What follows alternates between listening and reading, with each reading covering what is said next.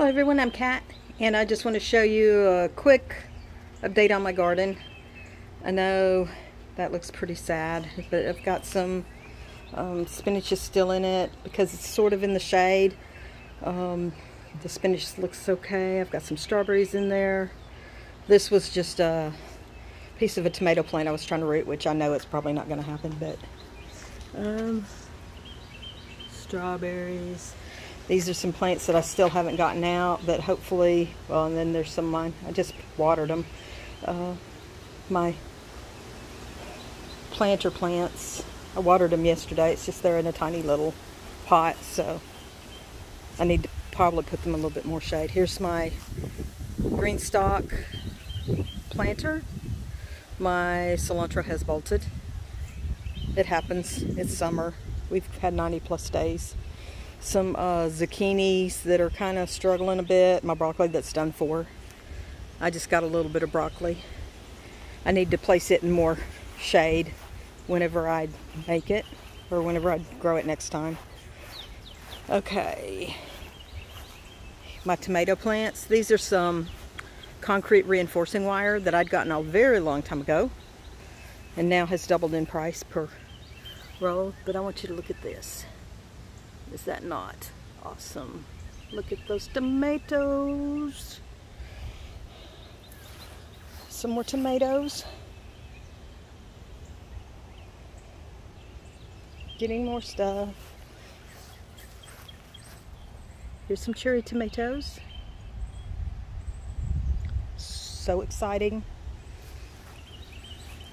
Now most of these, even though I took great care when I grew from seed, um, some of these are not from seed that I, I grew. I got the plants, but um, the ones that I grew from seed, whenever I planted them in, I had the names written on the cups, but the cups got erased on, even though it was Sharpie, and then the ones that did have still the name got mixed up. So I'll have to wait until I see them grow.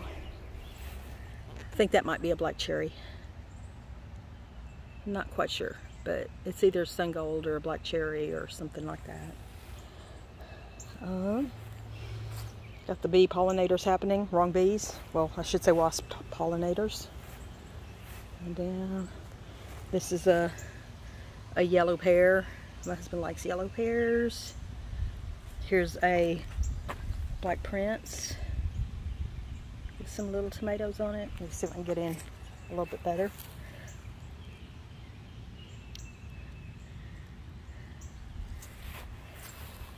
Think I have like 19, there's 19 on this row, 20, 21, 22 in ground right now. I'm hoping to get the rest of them in this weekend. I'll be off some, so yep, there's my catmobile. Got to get it inspected. Anyway, here is my grow bags with my, these are full juice peppers. These are just a mix of hot peppers. Two of them are jalapenos. Let's see. This is a jalapeno and then the small one beside is a jalapeno. Then, I can't remember, Anaheim's or something like that. Here's some carrots and some dill. Dill's getting a little overheated. Now this is an odd one. This is my onion corn. Not really sure what's going on with this. I planted onion, onions and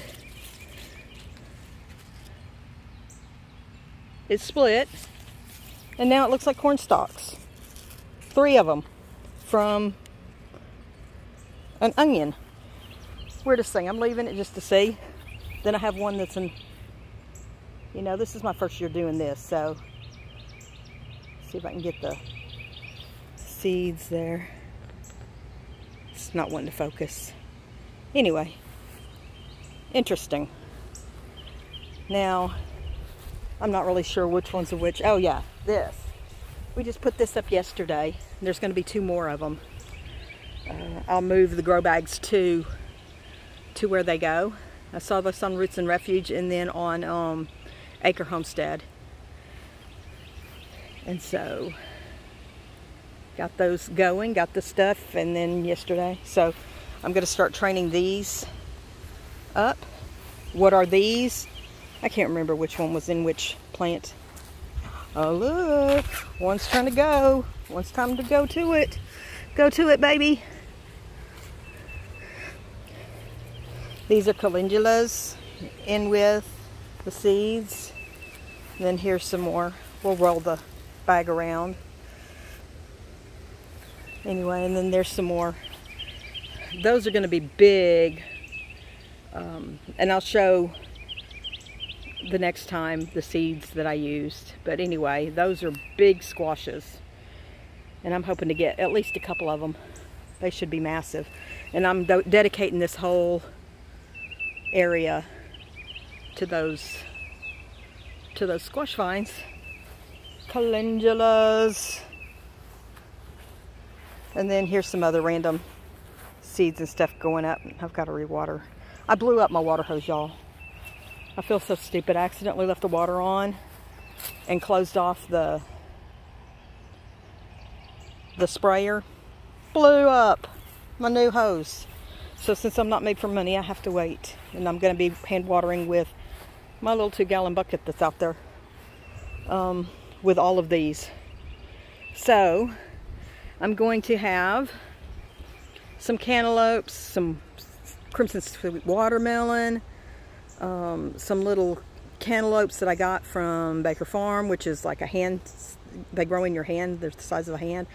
I've got some butternut squash, only it's the small individual butternut squash that's going to go. Um, so I've got some winter squash, which is the, um, let's see. So I've got butternut squash and I've got, oh goodness gracious, spaghetti squash.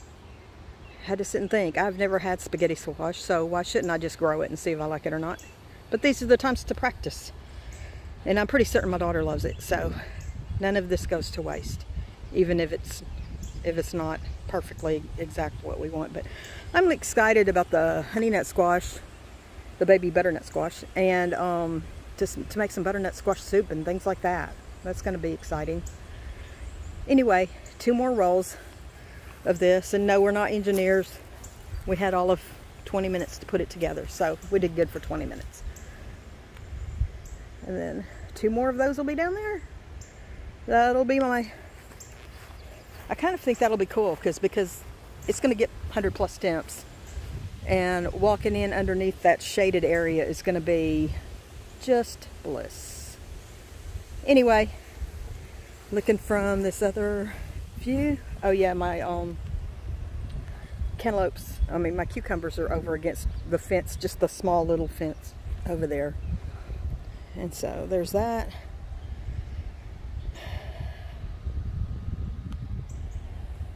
And there's my green stalks and my back porch. Okay, I want to thank everybody for watching. Bye.